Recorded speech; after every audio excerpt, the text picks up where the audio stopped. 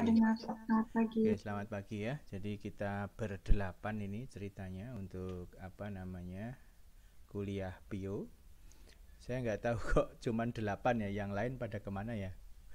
Ada yang tahu nggak kira-kira atau ngambil mata kuliah yang lain?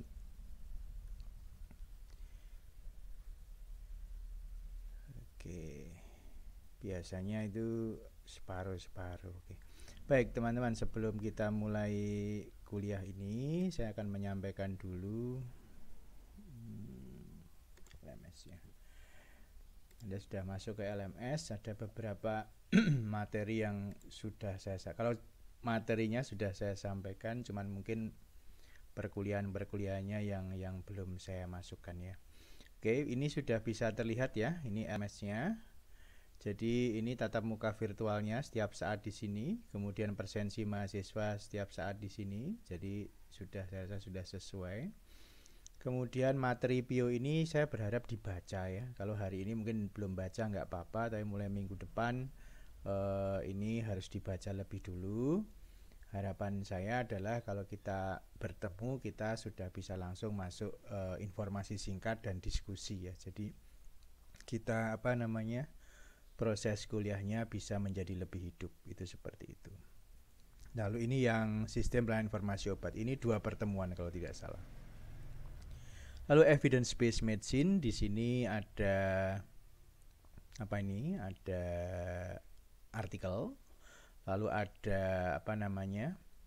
Ada uh, rekaman saya YouTube ya silahkan dilihat juga sehingga kita nanti waktu kuliah di sini kita tinggal uh, empat empatnya ini itu seperti itu jadi ini singkat-singkat saja jadi supaya kita menjadi mengerti bagaimana cara introduction to evidence base sama drug information resource yang diperlukan ini semua ada di sini Uh, ini kurang lebih ya 1 sampai 2 pertemuan tergantung situasi. Lalu ada review penggunaan obat ya.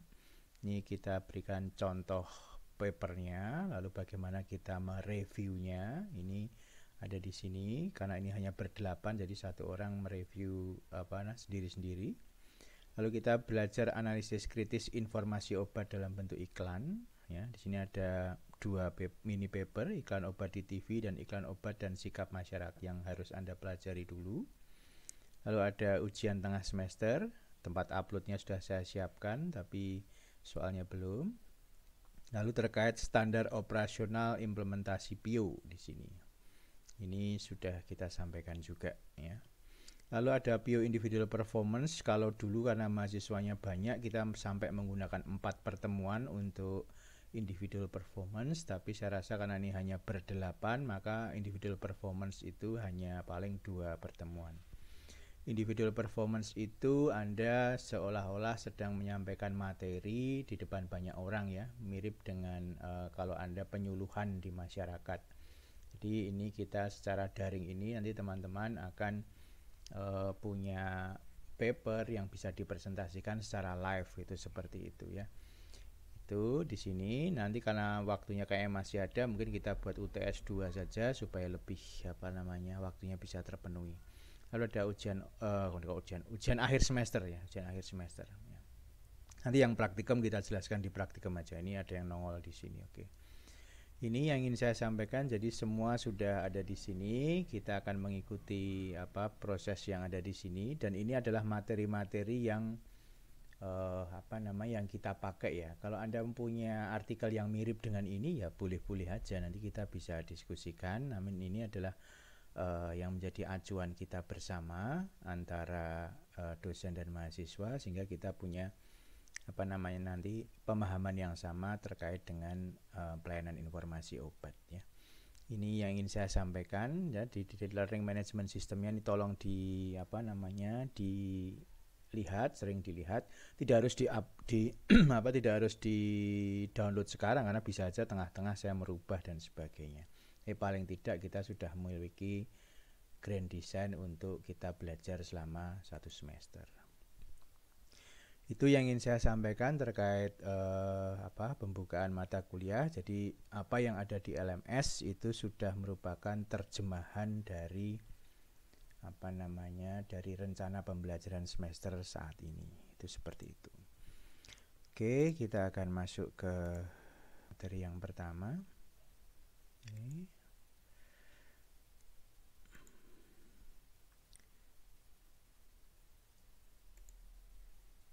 Ya, oke, terlihat ya. Ini, oke, sudah terlihat belum? Terlihat, Pak. Ya, terlihat, Terlihat, ya. Pak. Oke. Jangan ketiduran loh ini jam 7 soalnya. Oke, kita lihat adalah pelayanan informasi obat ya. ya, jadi Anda baca dulu yang ini. jadi singkat, jadi PIO itu adalah bagian dari pelayanan kefarmasian. Yaitu jadi PIO itu dari pelayanan kefarmasian.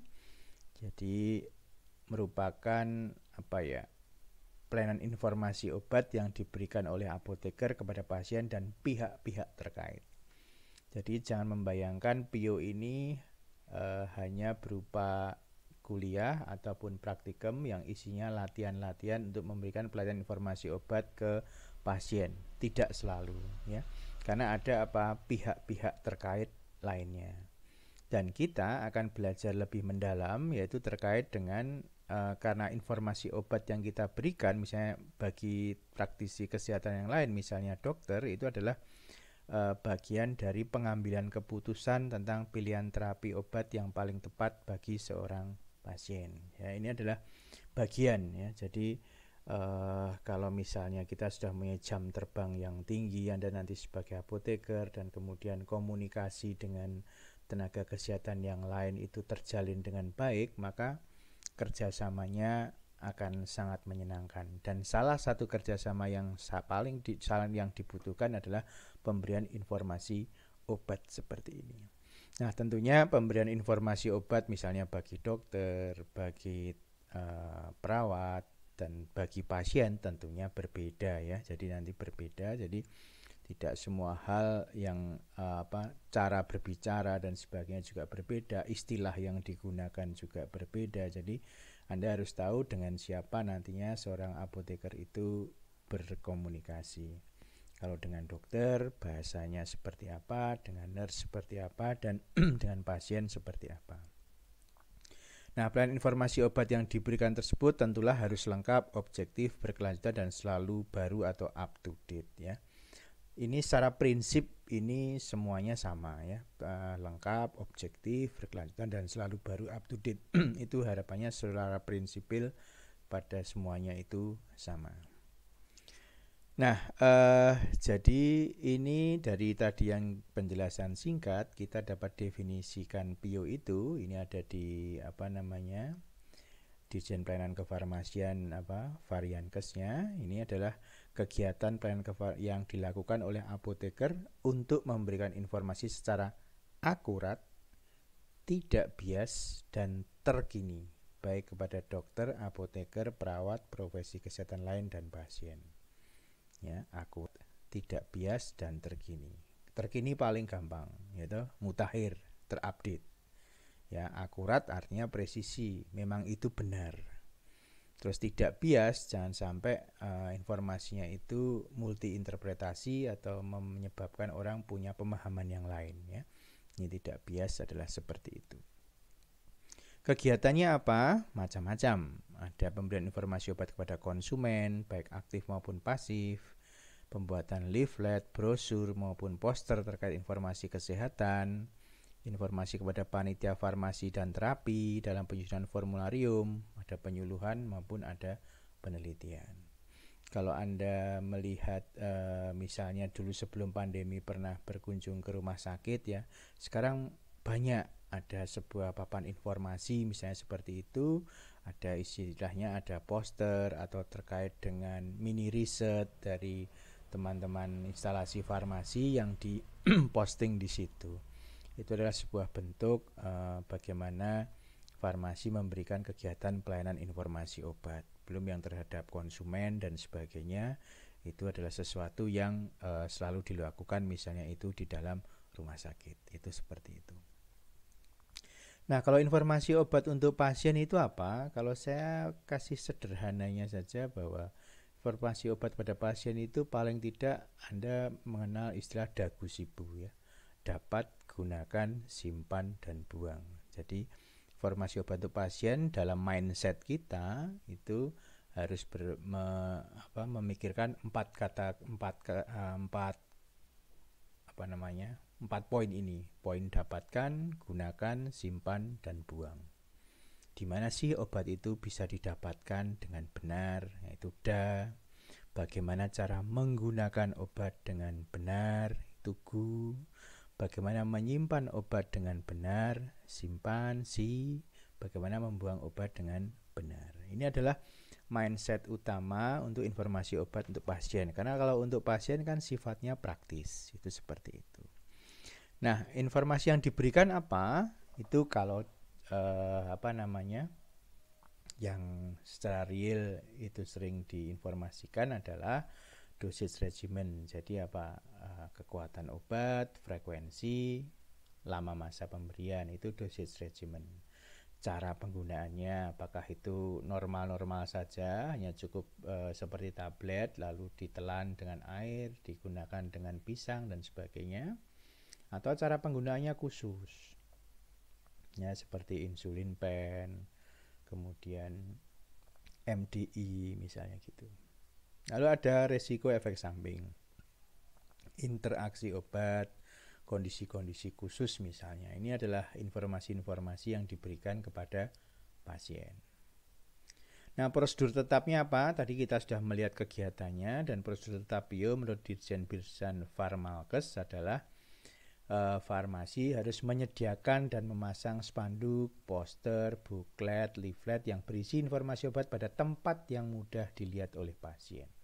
Tadi yang saya ceritakan di depan ada sebuah papan yang berisi informasi-informasi, bisa poster, bisa leaflet atau bisa mini riset tadi itu sangat penting.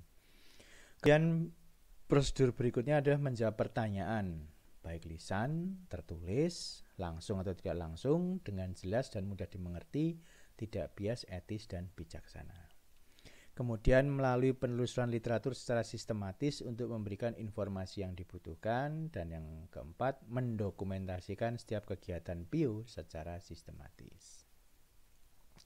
Yang saya beri warna biru ini adalah uh, sesuatu yang kita pelajari secara cukup mendalam di kuliah dan praktikum ini yaitu penelusuran literatur secara sistematis untuk memberikan informasi yang dibutuhkan.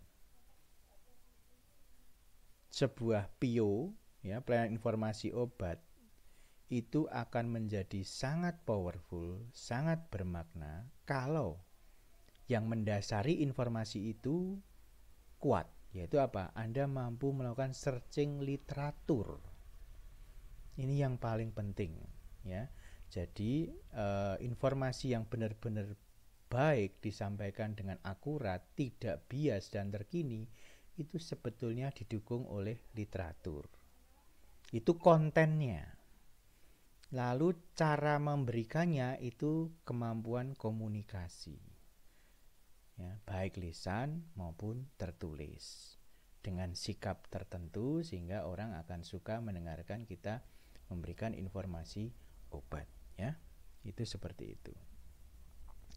Nah kalau ruang lingkup pionya ini sudah tadi sudah kita sampaikan ya. Ada pio untuk menjawab pertanyaan ada mendukung kegiatan PFT pelayanan informasi dalam bentuk publikasi untuk edukasi evaluasi penggunaan obat dan studi obat investigasi Nah, apa yang menjadi ruang lingkup PIO ini nanti di praktikum kita praktekkan tentang pertanyaan yang pertama PIO untuk menjawab pertanyaan. Bio untuk mendukung kegiatan panitia farmasi dan terapi. Itu nanti kita praktekkan di dalam uh, praktikum. Bio untuk edukasi itu kita juga akan praktekkan ya. Ini jadi tiga itu uh, akan akan kita praktekkan. Di luar kita akan mempraktekkan yang namanya bio untuk pasien ya. Jadi ini yang akan kita sampaikan nanti juga di dalam praktikum. Harapannya antara kuliah dan praktikum semuanya bisa inline ya. Jadi Anda bisa mendapatkan pemahaman yang utuh baik kuliah maupun praktikumnya. Nah, sasaran informasi obat tadi sudah kita lihat di depan. Jadi dokter, perawat, pasien, apoteker maupun kelompok atau tim atau kepanitiaan atau peneliti. Nah, kita lihat ini yang dokter ya. Ini literaturnya udah lama tapi saya rasa ini menarik ya. Sasaran informasi obat dari apoteker ke dokter. Ya. Dokter itu memerlukan informasi dari apoteker agar ia dapat membuat keputusan yang rasional. Informasi obat yang diberikan langsung oleh apoteker melalui jawab, menjawab pertanyaan dokter melalui telepon atau sewaktu apoteker menyertai tim medis dalam kunjungan perawatan pasien atau dalam konferensi staf medis. Jadi dokter bisa bertanya dengan telepon atau dokter bisa berdiskusi pada waktu melakukan visite ke ruang perawatan pasien. ada beberapa rumah sakit yang sudah melakukan kunjungan visite ini bersama dan itu adalah hal yang bagus ya. Namun untuk bisa mencapai itu teman-teman apoteker harus uh, selalu meningkatkan kemampuannya terutama keilmuan ya, terutama keilmuan ya. Untuk keilmuan itu harus selalu ditingkatkan supaya uh, bisa berinteraksi dengan baik dengan uh, dokter di sini misalnya dalam sebagai tim dalam kunjungan visite atau misalnya dalam konferensi staf medis. Lalu dengan perawat. Kalau dengan perawat itu kan perawat itu paling banyak berhubungan dengan pasien. Perawat jugalah yang pada umumnya pertama kali melihat adanya reaksi obat yang merugikan ataupun keluhan tentang penggunaan obat itu seperti itu. Nah, beda dengan yang informasi yang diberikan kepada dokter. Informasi yang dibutuhkan perawat pada umumnya sifatnya praktis, segera, ringkas, ya. Misalnya frekuensi pemberian dosis, metode pemberian obat, efek samping yang mungkin terjadi, penyimpanan obat, inkompatibilitas cairan intravena dan sebagainya. Ini sifatnya apa namanya praktis, ringkas dan biasanya memang segera harus diberikan. Ya. Jadi dari satu slide ini kiri dan kanan kita melihat perbedaannya itu seperti itu. Lalu dengan pasien dan dengan apoteker itu sendiri. Nah, kalau dengan pasien kita harus bisa melihat kondisi pasien. Informasi yang dibutuhkan pasien adalah informasi praktis dan tidak harus uh, sangat ilmiah ya. Tidak usah memberikan istilah-istilah uh, medis untuk pasien tapi cukup dengan istilah-istilah yang mudah dipahami yaitu seperti itu ya. Sifatnya praktis ya kemudian mencakup apa tadi mindsetnya adalah misalnya dagu sibu tapi misalnya terkait langsung dengan obat yang dipakai kita bisa lihat berinformasi tentang cara penggunaan obat jangka waktu penggunaan pengaruh makanan pada obat penggunaan obat bebas dikaitkan dengan resep dan sebagainya. Ini jadi apa namanya sifatnya lebih uh, menyangkut kepentingan atau kebutuhan pasien terkait obat yang dibutuhkan dia informasinya itu apa. Lalu kalau dengan informasi obat dengan apoteker ya antar apoteker lah ini diharapkan kita di sini tuh bisa uh, apa namanya saling belajar ya Terus dengan sesama teman-teman apoteker kita sama-sama belajar melakukan uh, update informasi, kemudian belajar dari eh, teman-teman uh, yang lain ya sehingga harapannya adalah dengan bertemu dengan teman-teman apoteker itu sendiri maka kita akan mengalami peningkatan pengetahuan dan kalau misalnya bisa ikut magang juga itu misalnya untuk keterampilan juga bisa meningkat dan sebagainya. Jadi ini kesempatan untuk uh, mendapatkan upgrade ilmu kalau dengan uh, antar apoteker dari sisi apoteker itu sendiri ya.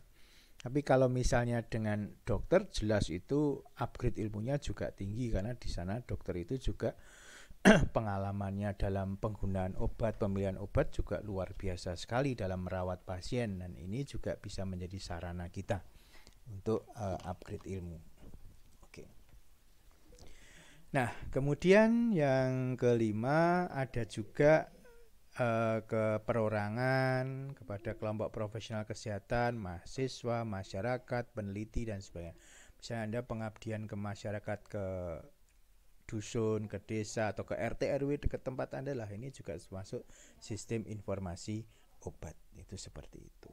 ya jadi ruang lingkupnya cukup banyak ya cukup banyak sehingga uh, kita harus apa namanya kita harus uh, bisa betul-betul tahu uh, di mana kita akan memberikan informasi obat itu dengan baik. Saya akan stop share sebentar. Silahkan kalau teman-teman ada yang mau ditanyakan dulu silahkan. Atau Anda bisa membayangkan sebenarnya kuliah PIO itu apa sih? Walaupun mungkin Anda sudah punya uh, koneksi dengan teman-teman Anda yang lain ya tapi menurut Anda Anda di PIO ini ingin dapat apa mungkin bisa mau menyampaikan silahkan gantian ya ngomongnya gantian yuk silahkan yuk kuliah PIO itu inginnya Anda mendapatkan apa ayo silahkan terima kasih Pak uh, Terima kasih on cam Pak. Billy supaya saya juga gantian bisa melihat semuanya ya. On cam yuk. Kameranya di on. Nah. Saya bebas ya. Kamu mau pakai baju apa bebas ya. Oke ya. Oke silakan Mas Billy. Ya, terima kasih Pak. Ah. Mengambil kuliah PIO ini. Ya, terima kasih Pak. Mengambil kuliah PIO ini seperti yang terakhir Bapak sampaikan tadi bagaimana cara memberikan informasi terlebih kepada perseorangan ataupun hmm. kelompok-kelompok hmm. masyarakat seperti itu Pak karena latar belakang di daerah saya masih sampai saat ini tuh terkait dagus ibu itu masih rendah pak untuk pemahamannya. Karena di sana untuk membuang obat itu uh, masih sangat sembarangan pak. Jadi uh, sering terjadi kasus bahwa obat yang dibuang itu kembali dipungut oleh pihak-pihak tertentu kemudian dikemas lagi terus diedarkan lagi pak? seperti itu Sumatera Selatan, Pak. Oke, oke. Di Sumatera ya, Selatan, oke. Baik, terima kasih Mas Billy. Jadi itu harapan Mas Billy, Anda bisa memberikan informasi obat yang benar ke masyarakat ya. Tapi dari informasi singkat saya selama beberapa menit ini Anda juga tahu bahwa PIO tidak hanya untuk masyarakat, ya dah. Jadi Anda bisa PIO untuk dokter, bisa untuk perawat, bisa untuk masyarakat dan orang lain karena S1 itu mendasari semuanya, bio itu bisa dilakukan di mana bayangannya? Rumah sakit bisa, di apotek bisa, langsung ke masyarakat juga bisa. Yang belum kita bahas di sini adalah bagaimana bio untuk industri. Ya, sambil tadi Mas Billy sudah sharing ya, sambil saya bertanya, bio untuk industri itu bentuknya apa? Untuk wilayah industri. Jadi kan kalau itu kan tadi bio ya untuk rumah eh, di rumah sakit kita ketemu dokter, ketemu perawat, ketemu pasien, apotek ketemu pasien paling banyak. Puskesmas ketemu pasien juga ketemu dokter, ketemu bidan dan Kalau untuk industri bio itu bentuknya apa? Mas Hendrik mungkin mau jawab boleh Mas. Punya bayangan enggak Pio untuk uh, bidang industri? Iya Mas Hendrik. Jawab apa pun boleh. Saya ingin kita berinteraksi, ya. Mungkin Pio yang di industri bisa kayak mungkin Pio yang di industri bisa kayak uh, industrinya dari industri itu bisa uh, industrinya sendiri apoteker industri itu bisa mengenalkan produknya ke misalnya ke rumah sakit atau ke puskesmas dan fasilitas kesehatan. apa? Pak, mungkin itu yang kayak misalnya uh, promosi ininya Pak, promosi obatnya, kayak terus promosi ininya Pak, promosi obatnya, terus gitu, tentang oh, stabilitas dan lain-lainnya ya. gitu Pak. Baik, yang lain silahkan. Nova, kamu udah sembuh belum? Tangannya? Sedikit Pak. Oh, Pinov. Sedikit Pak. Kalau menurut industri saya, apa? Bionya apa? Eh, di bidang industri itu hmm, kurang lebih mungkin menjelaskan uh, informasi informasi obat di apa namanya oh, di sesamarkan kerja. Ini yang dikatakan Mas Hendrik tadi tinggal ditambahkan sih. Anda pernah enggak misalnya beli obat itu di dalamnya ada leaflet tentang obat tersebut? Pernah ya mestinya ya.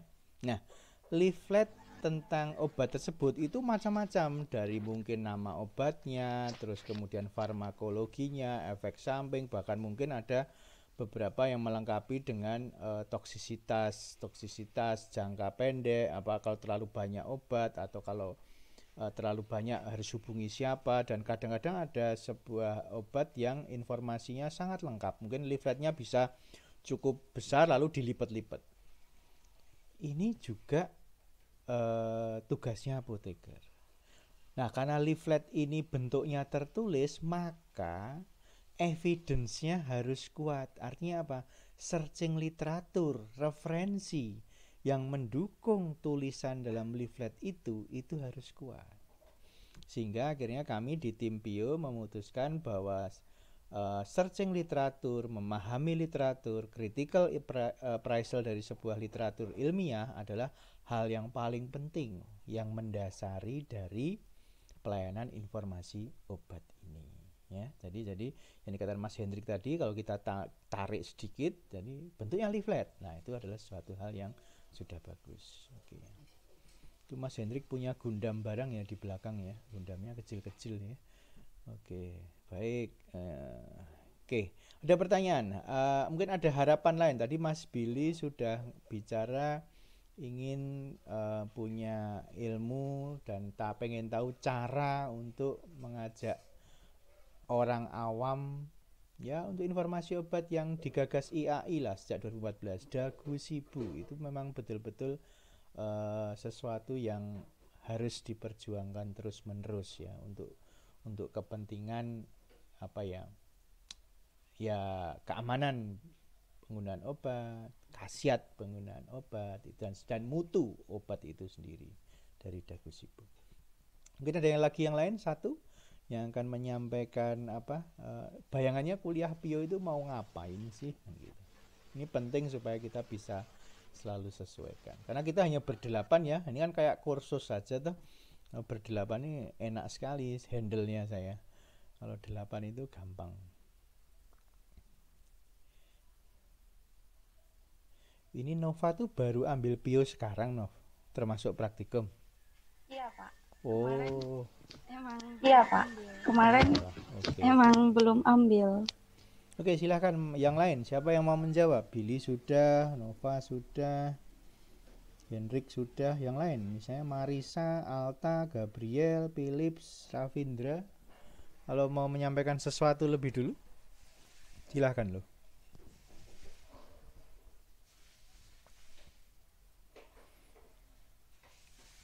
Ya kok pada diem.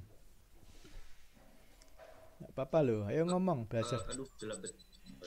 Oh, iya. Siapa? Uh, aduh, jelabet. Mas. Oh, iya. Mungkin saya mau coba ini Pak, uh, misalnya dalam penggunaan sebuah obat itu kadang kita sebagai pasien tuh nggak nggak mengerti obat ini harus dipakai jam berapa misalnya uh, di pagi siang sore malam. Seperti itu pak. Misalnya kalau kita nggak tahu uh, pakainya jam berapa terus kita kelupaan terus uh, kita juga nggak tahu ini mau dilanjutkan yeah. obatnya atau uh, kita berhenti. tapi biasanya kita sembarangan langsung lanjut okay. uh, okay, baik, terima kasih gitu, Mas Rafindra. Oke nanti itu akan kita pelajari ya dalam kuliah berikutnya dan juga di praktikum tapi ini poin untuk membuka ke slide berikutnya ya. Apa yang ditanyakan Mas Rafindra adalah poin untuk berjalan ke slide berikutnya. Ini sudah tahu nih mau ngomong apa saya ya. Jadi Anda malah ini menuju. Oke, saya lanjutkan dulu slide-nya. Jadi biar kita juga tahu. Oke. Ya. Oke, ini sudah kelihatan.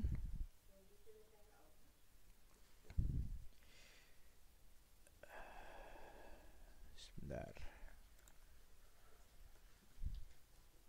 Oke. Nah, ini gini. Jadi tadi kita masuk ke pencarian informasi secara sistemik ya. Jadi strateginya kita lihat yang kotak besarnya aja ya. Jadi pertanyaannya itu apa? Ini harus kita seseorang itu bertanya apa? Bertanya tentang dosis regimen, terkait cara penggunaan, terkait penyimpanan pembuangan atau apa pun itu seperti itu. Jadi pertanyaannya itu harus tahu siapa penanyanya. Kalau misalnya ini ada, kalau itu tadi pasien ya. Kalau misalnya yang bertanya dokter, dokter itu tanya tentang apa sih? Nah, misalnya tolong saya dicarikan informasi tentang ada obat A dan obat B yang baru sekarang menurut apoteker obat A itu bagusnya seperti apa, obat B seperti apa dan kalau di compare uh, untuk pasien saya yang bernama ini uh, pendapatnya apoteker bagaimana. Nah, kalau pertanyaannya seperti itu, maka tahap berikutnya adalah mengumpulkan data khusus pasien. Identitas, pengobatan yang diperoleh, kondisi khususnya apa. Setelah itu baru dilakukan pencarian dengan secara sistemik. Ya. Ada beberapa pustaka primer, sekunder, dan tersier. Jadi awali dengan pustaka tersier dulu saja. Ya, informasi-informasi obat yang seperti ada di MIMS ya. Itu sekarang itu adalah sesuatu yang sifatnya tersier dan aplikatif. Dicari di situ dulu.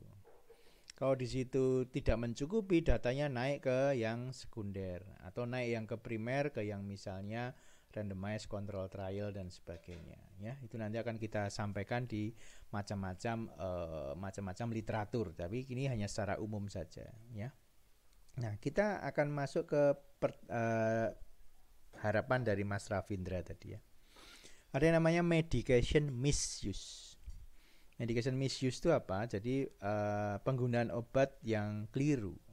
Ya. Jangan membaca misuse sebagai penyalahgunaan ya, karena misuse itu bisa dua arti, penyalahgunaan atau pengguna salahan. Nah, kita ambil dalam arti yang uh, tidak negatif yaitu mungkin keliru dalam penggunaan obat.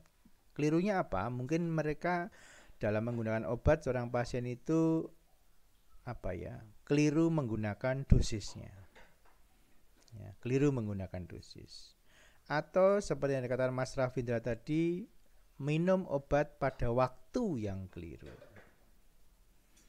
atau ada lagi yang menghentikan obat terlalu cepat dari yang seharusnya harusnya diminum misalnya secara intensif dua bulan ternyata setelah satu bulan berhenti atau dia lupa untuk minum obat forgetting to take dose. Ya, ini adalah empat problem yang biasanya terjadi di masyarakat. Ya. Di masyarakat tadi betul yang dikatakan Mas Ravindra, minum obatnya keliru waktunya, kalau lupa bagaimana. Itu adalah eh, apa namanya informasi-informasi yang sering dijumpai. Peran farmasinya apa? Ya sebelum kita bicara peran farmasi untuk mencari informasi obat ini, kita harus paham bahwa ada ini nanti kan pendidikan level universitas dan ada profesi, ada berbagai uh, kuliah yang Anda peroleh semuanya yang semuanya mengacu pada mutu, khasiat dan keamanan obat, ya. Jadi ini yang menjadi dasar Anda untuk menjawab informasi e, permintaan informasi obat dari pasien misalnya. Kita ngomong pasien aja supaya lebih praktis.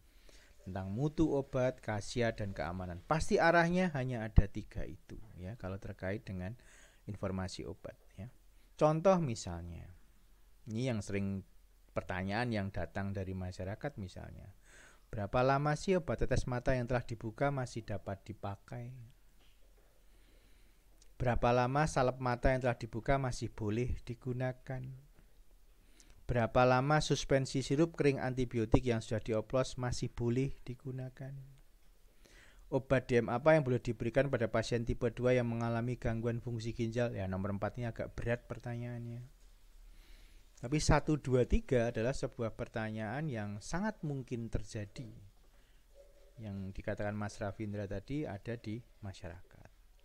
Ya. Peran farmasinya apa? Kalau Anda mendapatkan informasi pertanyaan-pertanyaan seperti itu baik yang simple maupun yang cukup sulit seperti yang nomor 4 itu. Yang pertama adalah dapatkan informasi latar belakang tentang gejalanya apa, keluhan fisik dan kondisi medis. Bedakan kondisi yang dapat diobati sendiri dengan kondisi yang harus dirujuk ke dokter. Apa artinya ini? Apoteker tidak melakukan diagnosis apoteker melakukan responding to symptom. Ya, jadi kalau misalnya kita bisa memberikan obat berdasarkan gejala yang dialami dan itu masih dalam taraf misalnya layanan swamedikasi itu boleh. Tapi ada kondisi tertentu di mana pasien bercerita, "Loh, ini tidak boleh diberikan obat oleh seorang apoteker." Maka dia harus dirujuk ke dokter. Nah, ini kata kunci ya yang di kalimat kedua ya. Bedakan kondisi yang dapat diobati sendiri dengan kondisi yang dirujuk ke dokter. Nasihati dan konseling pasien dengan apa yang seharusnya dilakukan. Itu peran formasis ya, itu seperti itu. Nah, kapan merujuk ke dokter? Ini hal yang yang penting yang harus kita ketahui. Gejala yang terjadi itu sudah lama. Contoh aja klasik, orang batuk ya. Orang batuk ternyata sudah misalnya sudah tiga bulan.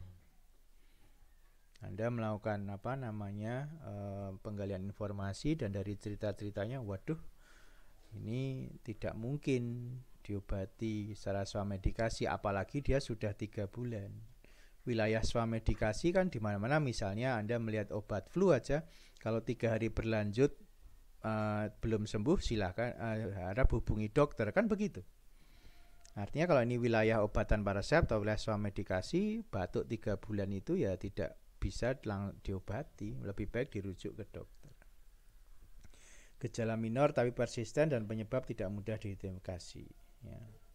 Saya pusing-pusing kok sering pusing-pusing ya. Pusing itu bisa diobati tapi kok terus menerus nah ini ya jangan terus uh, ya cukuplah dengan uh, analgesik antipiretik gitu pusing-pusing ya jangan nah, dia sering banget ya pusingnya minor sebenarnya tapi persisten terus menerus gejala hilang timbul dan bertambah parah ini jelas ya ini hilang timbul dan bertambah parah ini tentunya tidak kita rekomendasikan untuk diobati tanpa resep. Pasien sangat kesakitan atau Anda mencurigai ini adalah reaksi efek samping obat. Ya. Itu harus dirujuk ke dokter. Misalnya ada orang datang, saya ini kok apa ya tiba-tiba merah semua badannya. Oh, habis apa? Oh, habis minum obat A, B, C. Oh, jangan-jangan dia keliru. Reaksi efek samping obat dirujuk ke dokter atau simptom-simptom yang berbahaya yang lain. Contoh kapan merujuk pasien ke dokter ini diberi contoh ya. Untuk dada misalnya ada sakit dada, sesak nafas, mengi, sputum berdarah, batuk berdarah, palpitasi, batuk persisten ya, kering terus-menerus ya. Dicerna misalnya eh, di pencernaan susah menelan, muntah berdarah, diare berdarah, berat badan turun. Untuk mata misalnya merah dan sakit penglihatan kurang atau penglihatan ganda. Kalau mata merah ya mungkin cukup dengan obat-obat tertentu ya yang beredar bebas ya. Tapi kalau merah dan sakit ada inflamasinya ya jangan terus uh, diberikan obat-obat tetes mata yang lain itu berbahaya juga. Rujuklah ke dokter. Kemudian terkait dengan telinga, ada telinga yang sakit, keluar cairan, vertigo dan sebagainya. Kulit merah, terus susah kencing, sakit pinggang, ya, gangguan pada vagina, darah pada urin, itu semua harus dirujuk ke dokter. Nah, itu terkait dengan kalau dirujuk ke dokter. Nah, bisa juga Anda bertemu dengan pasien yang wilayahnya pas untuk swamedikasi. Saya barusan ngalamin batuk nih satu dua hari ini. Saya bisa diobati dengan apa ya? Nah, pernah minum obat apa? Oh, pernah minum obat A, B, atau C. Nah, cek kondisinya seperti apa. Dulu waktu minum obat A atau B atau C seperti apa. Kebetulan misalnya sama dengan kondisinya sekarang ya, bantu seleksi produknya. Apakah produk A cocok, B cocok, atau C cocok. Ya. Jadi bantu seleksi produk itu Anda bisa berikan obat yang memang cocok dalam harga yang e, murah, ada harga yang standar, ada harga yang mungkin cukup tinggi. Biar dia bisa memilih, ya, bisa memilih mana harga yang mau di, di diambil oleh dia. Gampangannya ada generiknya, ada nama dagang, terus ada nama dagang yang lebih top lagi. Ya, ini biasanya mereka akan enak untuk memilihnya. Oh, kalau harga segini terlalu tinggi, harga segini standar oke okay, ini lebih murah lagi. Ya ini orang bisa uh, ketiga-tiganya khasiatnya sama. Seorang apoteker harus mengatakan itu ya. Sama-sama contoh misalnya asam mefenamat samefenamat begitu brand name yang lain misalnya yang paling terkenal misalnya uh, ada Mevinal misalnya. Kalau boleh sebut merek ya. Lalu ada Ponstan. Itu semua kan grade-nya beda-beda harganya beda-beda nah ini ada tiga price ini tiga harga ini menyebabkan orang bisa diberi keleluasaan untuk memilih ya ini penting Kemudian nilai faktor resiko, misalnya kontraindikasi, fungsi organ, umur, ya. Terus beritahu cara penggunaan yang benar, ya. Ini untuk pengobatan sendiri. Itu seperti itu. Nah, untuk metode menjawab pertanyaan ini tadi kan ini untuk peran farmasis tadi yang uh, terkait dengan masyarakat. Nah, kita masuk lagi ke yang tadi kita kan sebelum bicara ini kan bicara tentang dokter yang bertanya tentang macam-macam tadi ya, yang uh, ada misalnya ada obat baru gitu ya. Nah, pertanyaan itu dari siapa pun, dari dokter, perawat, dari apoteker sejawat atau dari pasien itu bisa lisan, bisa tertulis. Kalau yang tertulis mungkin jarang ya, itu mungkin sangat jarang. Tapi yang lisan itu bisa by phone atau berdasarkan kalau tatap muka. Ya. Jadi di sini e, porsi untuk bio itu lebih baik eh, lebih banyak menggunakan komunikasi secara lisan by phone pertemuan tatap muka dan sebagainya kalaupun ada yang tertulis mungkin butuh bukti-bukti yang lebih detail ya tapi itu lebih sedikit itu seperti itu Nah, apabila mungkin, maka tindak lanjut bio itu perlu diadakan untuk jenis pertanyaan tertentu, terutama yang berkaitan langsung dengan perawatan pasien. Ya, misalnya gini, apoteker ditelepon tentang seorang pasien yang mengalami reaksi obat merugikan terhadap suatu obat tertentu dan dokter menanyakan suatu terapi alternatif. Setelah pencarian pustaka yang sistematik, apoteker membuatkan rekomendasi. Apoteker menggunakan kesempatan ini mendatangi pasien untuk melihat respon pasien terhadap rekomendasinya itu. Catatan ya, terapi alternatif ini bukan terapi obat tradisional ya maksud saya ya. Artinya eh, ya tetap dengan pengobatan modern ya. Jadi mungkin dokternya bertanya tentang obat apa ini ya, yang yang mungkin lebih baru misalnya atau apa yang kita miliki sekarang di sini supaya bisa mengatasi masalah ini. Nah, ini adalah hal yang penting supaya Anda bisa membangun relasi yang baik dengan tenaga kesehatan dalam hari ini adalah dokter. Kalau rekomendasi Anda tepat, pas, maka tentunya akan lebih menyenangkan bekerja sama dengan semua tenaga kesehatan di tempat tersebut. Dan jangan lupa kalau Anda memberikan rekomendasi terhadap dokter di sini lalu obat tersebut disetujui untuk digunakan eh, apa luangkan waktu untuk bertemu dengan pasien untuk melihat respon pasien terhadap penggunaan obat. Anda melakukan monitoring terhadap penggunaan obat itu itu akan memperkaya kemampuan klinik Anda terhadap obat. Nah, ini hal yang sangat bagus sekali. Ya. Saya rasa sudah banyak apoteker yang menggunakan uh, apa namanya cara-cara ini supaya semakin meningkat apa relasi uh, interprofessional collaborationnya dengan tenaga kesehatan yang lain. Ya, kita memang masih perlu harus bekerja keras untuk bisa apa namanya Eh, mendapatkan pengakuan interprofessional collaboration ini secara luas di Indonesia. Apakah sudah terjadi? Sudah. Tapi harapannya uh, kejadiannya itu sudah semakin meluas ke seluruh Indonesia. Itu seperti itu. Nah, karena ada uh, apa namanya apoteker tadi juga melihat hasil rekomendasinya, maka akan terjadi interaksi dengan profesional kesehatan lainnya yang dapat mempromosikan partisipasi apoteker dalam perawatan pasien langsung termasuk kunjungan klinik ke ruang pasien. Jadi ini pendapat seorang pakar, Pak Siregar nih dari ITB.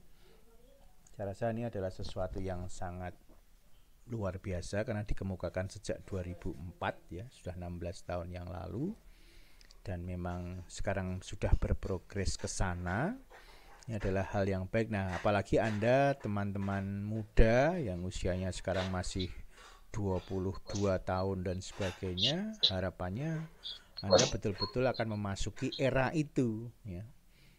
Ya, PIO ini juga nanti akan mungkin akan masuk ke digital literacy, bagaimana menggunakan apa namanya informasi obat secara digital di internet. Nah, ini juga teman-teman juga nanti harus mengetahui sampai di sana. Kalau kebetulan orang-orang yang dirawat bisa uh, digital literasinya bagus, maka itu bisa uh, ditindaklanjuti dengan cara yang baik juga.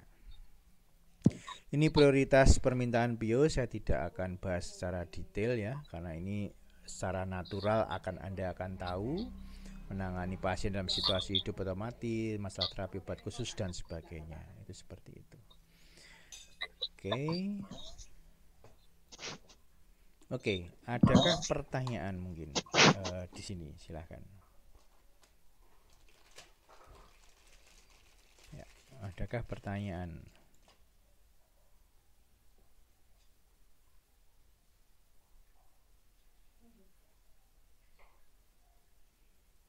Terima kasih Pak, dari saya belum ada pertanyaan.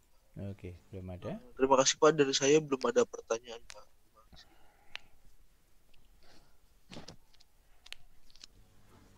Ya, silakan yang ada yang bertanya enggak? Sambil saya mencoba melihat-lihat. Pak, saya mau tanya. Oh, boleh, boleh, boleh. Silakan, Mas. Pak, saya mau tanya. Bio untuk industri uh, selain bio untuk industri selain terkait ke promosi seperti leaflet apa pionya juga termasuk dalam proses produksinya pak? Seperti terkait okay, bahan ya. bahan baku okay. farmasi yang digunakan Baik, terima seperti kasih, itu pak. Mas uh, mas Billy ya. Jadi PIO itu kan pelayanan informasi obat. Obat itu bisa obat itu sendiri bahan baku obat uh, kosmetik kemudian obat tradisional. Itu secara secara referensi peraturan perundang-undangan seperti itu ya kan? Nah sekarang kalau kita bayangkan kalau anda berada di industri obat dengan siapa anda akan berelasi itu dulu? Dengan siapa Mas Bidi kalau anda di bagian produksi obat dengan siapa anda akan berelasi kira-kira. Kalau tadi yang dijelaskan Pak Yusuf berarti dari industri untuk kalau tadi yang dijelaskan dari, Pak Yusuf tadi berarti dari industri ke dari masyarakat industri tadi. untuk tapi kalau masyarakat. di ruang produksi kalau di ruang produksi terkait dengan informasi obat akan berinteraksi dengan ruang- siapa? Dengan rekan kerja mungkin Pak? Iya betul. Dengan rekan kerja. Dengan rekan kerja mungkin Pak. Dengan rekan kerja di ruang produksi itu macam-macam ya. Ada ada ada yang apa anak buah misalnya teknisi ada teman-teman dari teknik misalnya begitu yang tahu ya. Contoh begini ada di ruang produksi misalnya di sebuah perusahaan itu ada orang teknik apa teknik mesin.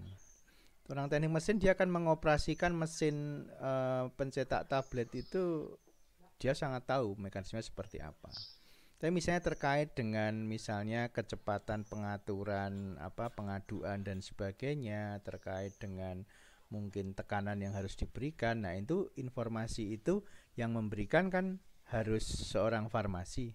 Seorang farmasi kan tahu misalnya obat ini apakah peka terhadap suhu yang tertentu, apakah itu kekerasannya bisa dikempas secara langsung ataukah harus granulasi basah dan sebagainya. Ini yang sepanjang saya tahu. Artinya, di situlah ada informasi obat yang diberikan pada rekan kerja. Ini obatnya yang baru ini, karena kita berpindah vendor, berpindah tempat pembelian, ini karakteristiknya berbeda dengan yang lalu loh. Kalau yang dulu mungkin cukup misalnya di di apa di homogenisasi selama sekian menit itu sudah sudah bagus, ternyata ini membutuhkan waktu pengaduan yang lebih lama, misalnya gitu. Nah, ini ini yang harus disampaikan. Ini juga informasi obat kan, Mas, kepada rekan kerja. Itu seperti itu. Jadi, kalau terkait dengan teman-teman rekan yang berada di produksi, maka informasi obatnya terkait dengan mutu, karakteristik bahan bakunya. Contoh begini. Sebuah industri bisa saja mengambil bahan baku dari negara A. Eh suatu saat harga itu naik tinggi. Kalau kita beli di negara A itu, maka kalau kita produksi harganya bisa akan sangat tinggi. nggak cocok nih nggak visible nggak marketable ganti ke negara B yang menjual obat yang sama kalau Anda bekerja di industri mendapatkan bahan baku dari tempat yang berbeda, Anda harus melakukan orientasi awal enggak tentang bagaimana cara mengelola bahan baku ini menjadi sebuah obat. Tentunya akan masuk ke research and development dulu. Ini bagaimana caranya? Apakah prosedur yang lama itu bisa digunakan? Tentunya ada apa ya? adjustment ya. Ada ada hal-hal penting yang memerlukan apa namanya perubahan pasti itu ada nah di sinilah perlunya infor, apa, pemberian informasi obat kepada orang-orang yang membutuhkan. Gitu. Cuman karena kata pelayanan informasi obat ini lebih ke bermakna klinikal ya bermakna klinikal maka eh, apa namanya menjadi eh, sesuatu yang apa namanya eh, lebih berbau klinik dibandingkan kita nanti apa betul ada PIO di industri. Kalau yang PIO yang di leaflet dari industri ke masyarakat itu sudah benar, tapi yang terkait di dalam itu ya sebetulnya ada. Belum lagi yang ada yang di PBF, Mas, pedagang besar farmasi. Pedagang besar farmasi itu kan ada yang pedagang besar farmasi obat, ada yang pedagang besar yang bahan baku obat. Ya, ya pedagang besar bahan baku obat itu kan berarti dia mensuplai bahan baku obat ke orang yang membutuhkan. Di sini dibutuhkan apa? Mungkin penyimpanan yang benar karena di bahan baku obat ada karakteristik tertentu misalnya ada isomer, ada campuran rasemik dan sebagainya yang membuat penanganannya harus khusus. Apoteker yang ada di PBF yang bahan baku obat juga harus misalnya anu ini karena campurannya apa karakteristik materialnya berbeda maka yang dilakukan dalam penyimpanan harus begini. Nah, ini juga informasi obat kepada siapa? Kepada uh, pegawai yang ada di situ. Gitu Mas Billy. Jadi memang kata pelayanan informasi obat itu langsung kita akan konotasinya pada pemberian informasi obat pada bidang klinik dan itu tidak salah. Dan itu tidak salah ya, tapi kita juga harus mulai melebarkan uh, apa namanya melebarkan mindset bahwa pemberian informasi obat itu juga sebetulnya terjadi di industri dan juga terjadi di uh, eh, PBF itu seperti itu. Dan itu kita berikan kepada siapa? Ya terkait dengan orang-orang yang ada di sekitar kita atau kalau yang industri tadi juga dalam bentuk leaflet ke masyarakat. Begitu. Tapi kita akan dominan bicara di wilayah klinik kalau di uh, kuliah ini. Begitu Mas Billy. Terima kasih Pak. Ya. Oke silahkan. Ada lagi? Terima kasih Pak. Ya mumpung berdelapan ya harus ngomong semua lah. Kalau bertiga puluh saya paham.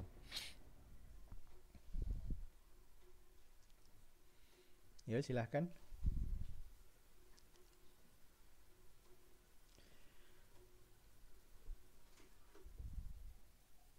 Yo siapa yang lain yang belum bersuara? Saya mau tanya Pak. Renov. Nah, terkait rujukan. Saya mau tanya Pak.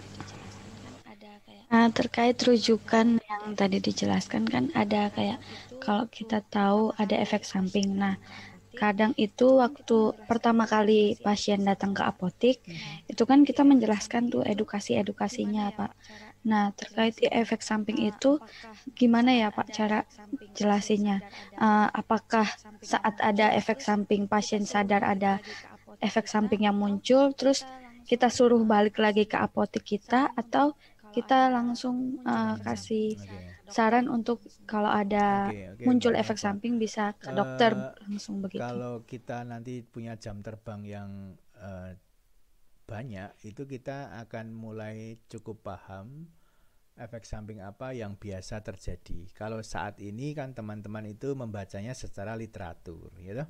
Kalau secara literatur, misalnya ya kita ambil misalnya Medscape ya yang paling terkenal ya misalnya dan Anda paling mudah bisa akses.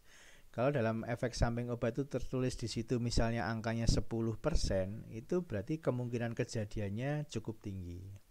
Jadi kalau saya patokannya gitu, di atas 10% berarti kemungkinan kejadian lebih tinggi. Lalu apakah informasi efek samping itu harus selalu disampaikan? Nah, itu bisa ya, bisa tidak. Ya, tergantung misalnya begini. Uh, kira-kira uh, merugikan pada pasien tidak. Misalnya kalau obat obat TBC itu ya kalau di berbagai petunjuk di Kemenkes selalu mengatakan berikan informasi kepada pasien kalau misalnya urin berwarna merah muda dan sebagainya itu adalah efek dari penggunaan obat rifampisin jadi supaya tidak terlalu khawatir karena itu selalu terjadi. Seperti orang yang tidak biasa minum obat vitamin C dosis besar itu warna urinnya pasti kuning kalau dia nggak tahu bahwa itu adalah suatu hal yang biasa maka dia pasti akan panik jadi informasi-informasi itu walaupun bukan bukan sebuah apa namanya efek samping yang serius tapi perlu diketahui oleh pasien.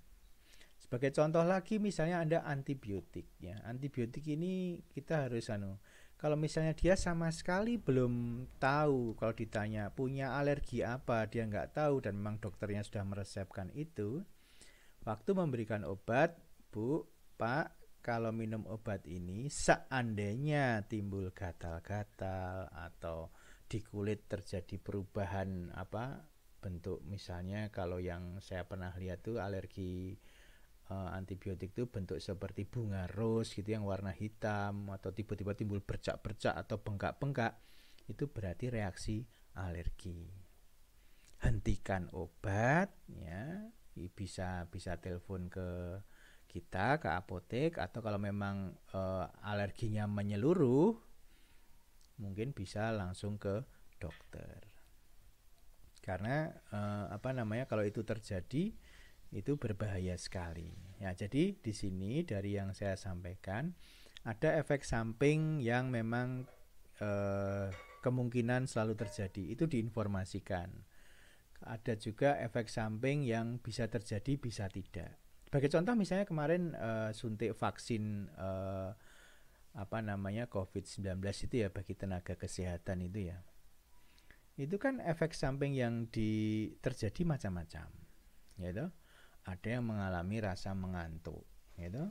Ada yang mengalami rasa mengantuk, ada yang mengalami rasa mual-mual dan sebagainya. Tapi semua diinformasikan kalau mengalami rasa mual-mual sepanjang itu cuman misalnya beberapa jam dan setelah itu tidak masalah berarti tidak tidak masalah tidak tidak apa tidak usah khawatir kalau misalnya ngantuk sekali ya makanya memang disaran apa disarankan habis ini kalau misalnya tidak bekerja ya istirahat dulu supaya jangan apa jangan sampai mengantuk yang berlebihan di di jalan misalnya gitu. Tapi efek samping mengantuk ini tidak terjadi pada setiap orang. Ya tidak terjadi pada setiap orang. Ada si A mengalami si B tidak mengalami. Tapi terjadi di beberapa orang itu terjadi nah ini contoh bahwa ada informasi-informasi yang jadi kalau yang di Kemenkes kemarin juga ditulis eh, reaksi-reaksi uh, yang mungkin timbul apa terus kemudian reaksi yang mungkin membuat kita harus kontak lagi dengan dokter itu atau rumah sakit apa. Nah ini hal-hal yang penting yang nanti bisa kita ketahui dengan belajar literatur-literatur itu mana efek samping-efek samping yang sering timbul ya silahkan disampaikan tapi dengan cara yang uh, apa ya tidak menakut-nakuti gitu sebagai contoh aja misalnya orang minum obat flu yang mengandung antihistamin pasti anda akan mengatakan ini kan efek sampingnya mengantuk tapi kita bicaranya bukan efek samping yang mengantuk. Bapak Ibu hati-hati ya kalau mengendarai kendaraan bermotor karena obat ini bisa menimbulkan kantuk. Cara bicaranya ini itu tidak mengatakan Bu hati-hati ya efek sampingnya ngantuk. Dengan bandingkan Bapak atau Ibu hati-hati kalau minum obat ini jangan mengendarai kendaraan bermotor karena bisa menyebabkan kantuk. Gitu kan? Atau misalnya seorang lansia minum obat uh, antihistamin. Bapak atau ibu karena ini uh, apa nama karena ini lansia ya misalnya ngomong ke keluarganya nanti setelah bapak minum obat ini tolong misalnya dari duduk ke berdiri jangan langsung jalan tapi duduk berdiri dulu diam sebentar baru berjalan. Karena apa? Takutnya karena efek ngantuknya ini dari duduk langsung berdiri dan jalan itu bisa sempoyongan misalnya gitu. Karena gesturnya yang sudah tua itu menyebabkan keseimbangannya terganggu. Nah, tapi cara bicaranya itu sudah memberikan arah solusi terhadap kemungkinan efek samping yang terjadi. Gitu Mbak Nova, tapi memang tidak semua efek samping itu akan kita sampaikan terutama yang bikin dia takut untuk minum obat ini. Ya. Kalau dia bikin takut minum obat ini ya itu biasanya hati-hati sekali gitu. Gitu ya, Mbak Pak. Nova ya. Iya, bisa dimengerti, Pak. Ya, oke. Okay. Ya, Pak. Oke, baik yang ya, lain. bisa dimengerti, Pak. Saya, Pak. Yo Philips ya. Hmm, saya, Pak. Saya mau menanyakan yang mengenai kondisi hmm, apa yang saya mau menanyakan yang mengenai mhm. kondisi sekarang Pak yang seperti vaksin sekarang. Kan banyak isu-isu mengenai vaksin kan. Banyak masyarakat luas kan yang belum percaya mengenai vaksin tersebut. Untuk meyakinkan agar masyarakat luas itu dapat menggunakan vaksin tersebut, apakah Oke, meyakinkan ini termasuk Kalau dalam pelayanan informasi obat juga, Pak? Orang yang misalnya, misalnya ya, vaksin ini sudah bisa diakses oleh orang kebanyakan ya, misalnya bisa vaksin mandiri atau vaksin yang gratis yang dari pemerintah, misalnya ada yang bertanya vaksin ini sebetulnya baik apa tidak sih? yang harus Anda lihat adalah vaksin ini yang dibagikan saat ini eh, apa secara gratis oleh pemerintah itu adalah vaksin dengan teknologi yang sudah teruji yaitu menggunakan virus yang sudah dilemahkan. Gitu. Kalau virus yang sudah dilemahkan itu artinya begitu disuntik maka diharapkan tubuh akan mengenali oh ini ada virus. Berarti tubuh akan menangkal dengan membentuk antibodi. Lalu kalau di booster dua minggu kemudian atau sebulan kemudian untuk lansia, maka pemberian vaksin yang kedua itu membuat uh, antibodi tubuh itu semakin kuat. Itu gampangannya bicara untuk uh, orang awam adalah seperti itu. Dari dulu sampai sekarang yang namanya vaksin itu memang proses kerjanya demikian, ya. Hanya beda-beda uh, virusnya. Ada yang uh, virus kalau anak kecil itu virus DPT apa vaksin DPT, vaksin polio dan sebagainya. Itu semua virus yang dilemahkan.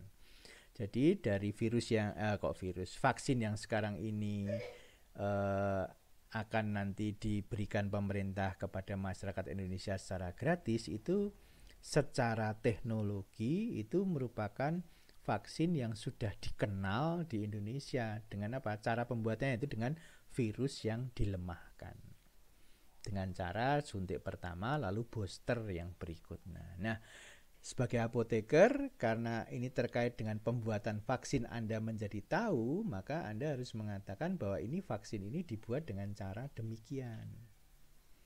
Ya, beda dengan vaksin-vaksin merek lain yang ada yang mengatakan dibuat dari MR dan sebagainya, yaitu mungkin sesuatu yang dikatakan sendiri oleh pabriknya adalah sesuatu yang baru namanya sesuatu yang baru saya juga tidak bisa komentar sesuatu yang baru itu seperti apa bisa jadi ya bisa bagus bisa jadi ada yang belum pas itu bisa jadi tapi karena itulah maka yang sekarang ada di Indonesia yang diambil adalah dengan menggunakan uh, vaksin yang sudah dikenal uh, sejak lama yaitu dengan menggunakan vaksin yang mengandung virus yang dilemahkan. Nah, sebagai apoteker kalau ditanya seperti itu, kalau pas Anda di apotek ya Anda menjelaskan dengan pengetahuan Anda, vaksin yang sekarang disuntikkan itu seperti apa.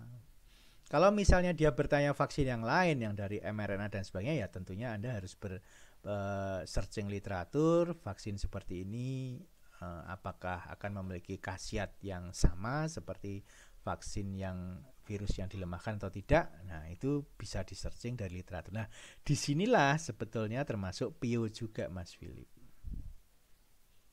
Gitu mas. Bisa paham itu? Bisa pak. Ya. Terima kasih pak. Ya, Anda sebagai mahasiswa juga bisa mencari informasi bisa, itu. Terima kasih pak. Kalau Anda melihat secara detail mengapa pilihannya pada vaksin yang ini itu di pemerintahan itu selalu memberikan informasi bahwa vaksin ini adalah vaksin yang dikenal dengan dibuat dengan cara virus yang dilemahkan. Pabriknya yaitu Bio Farma sudah sangat familiar dengan metode pembuatan ini. Artinya semua yang diupayakan terkait mutu produknya sudah dijamin oleh pemerintah. Nah, ini yang nantinya harus disampaikan ke eh, pasien-pasien yang menanyakan tentang vaksin tersebut. Masalah khasiat dan keamanan itu sudah ada uji khasiat dan keamanannya yaitu uji klinik fase 3. Bahkan beberapa hari ini diinformasikan karena ada kemajuan uji klinik fase 3 di daerah Brasil dan di Turki, maka vaksin ini juga boleh diberikan pada lansia di atas 60 tahun. Nah, ini kan sebuah kemajuan ya. Tanggal uh, eh, 11 Januari dulu dipakai ada emergency use authorization dari BPOM, tapi belum lama ini sudah ada informasi tambahan bahwa ini bisa dipakai untuk lansia. Nah, ini adalah hal-hal penting yang harus diikuti oleh teman-teman apoteker dan juga teman-teman mahasiswa. Seandainya ada orang yang bertanya ya dari koridor ini, ini kita sudah bisa menjawab dengan uh, apa benar. Jadi kalau misalnya ada sesuatu yang baru seperti virus ini, uh, banyak orang yang belum tahu cara mengatasinya, maka yang harus kita pegang adalah informasi dari sumber resmi. Badan POM, pemerintah, Kemenkes itu adalah informasi-informasi resmi yang harus kita pegang menjadi acuan. Ya, kalau Anda ingin memperdalam tentunya di situ selalu ada ini penelitian kliniknya di sini di sini. Nah, Anda bisa searching literatur untuk memperdalam pengetahuan Anda. Gitu karena adalah karena sesuatu yang baru kita tidak supaya kita punya pegangan maka satu-satunya pegangan kita adalah orang yang ahli. Dalam hal ini adalah teman-teman yang ada di kesehatan. Makanya kita pegang Kemenkes kemudian perizinannya obat di BPOM terus informasi-informasi dari pemerintah. Ya. ini adalah yang penting yang harus uh, kita pegang. Begitu ya Ya. Anda bisa mulai belajar kok dengan Baik, ini nanti kecil-kecil. Nanti kalau misalnya ambil kuliah Anda bawa kasus sederhana kasus sederhana yang bisa kita diskusikan di sini Anda akan semakin uh, apa namanya bertambah wawasannya. Itu seperti itu. Mumpung ini hanya delapan kan kemungkinan interaksi lebih intens. Ya jadi jangan kalau orangnya yang kuliah itu ada 50 ya sulit untuk intens. Tapi mumpung ini delapan, kita harus bisa lebih intens untuk itu. Oke ya, ini ketua kelasnya mau siapa?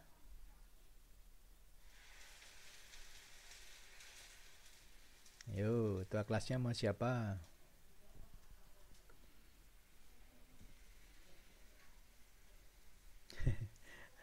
Cuman berdelapan loh ini, masa ketua kelasnya saya harus milih siapa yuk? Ketua kelasnya Nggak usah malu-malu loh nih.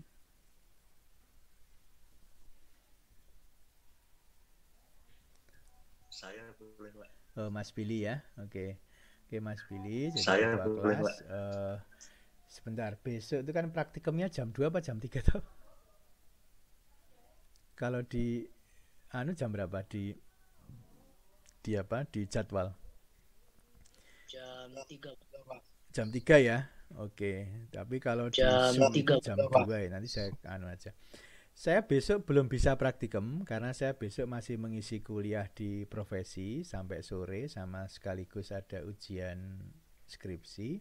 Jadi praktikum kita mulai minggu depan. Jadi antara asistensi dan praktikum kita jadikan satu di minggu depan gitu ya. Jadi kita berdelapan kita akan minggu depan pada jam praktikum akan asistensi sekaligus praktikum yang pertama gitu.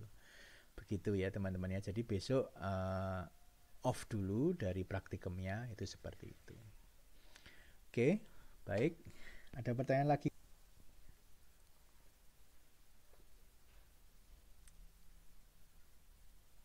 Kalau dari saya sudah cukup pak. Oke okay.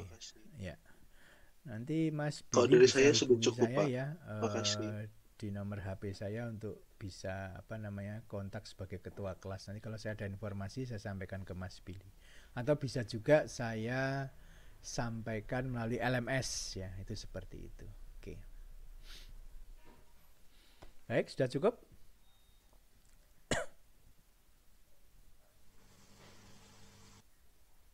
Oke, baik. Kalau sudah cukup, saya rasa saya cukupkan sekian saja untuk kuliah hari ini. Jadi semua informasi yang ada di sini adalah informasi yang digunakan untuk perkuliahan ya, untuk menambah wawasan ya, untuk menambah wawasan. Eh, jadi apa namanya? Betul-betul untuk kepentingan pembelajaran. Semoga informasi yang ada di sini bisa bermanfaat untuk teman-teman saat ini dan mungkin nantinya setelah lulus dari pendidikan farmasi. Oke, saya cukupkan pertemuan hari ini. Kita akan berjumpa minggu depan di jam yang sama. Untuk praktikum juga baru minggu depan hari Rabu jam 3 asistensi setengah jam lalu kemudian kita akan masuk ke sesi praktikum ya. Kalau daring itu biasanya sebentar lalu yang penting ada follow up dalam bentuk apa namanya paper atau apa pun itu. Begitu. Baik, gitu. Saya cukupkan sekian. Terima kasih untuk kehadirannya. Kita jumpa lagi minggu depan. Selamat pagi. Sehat selalu. Terima kasih Pak. Terima kasih Pak. Pagi Pak. Terima kasih Pak. Sehat selalu Pak.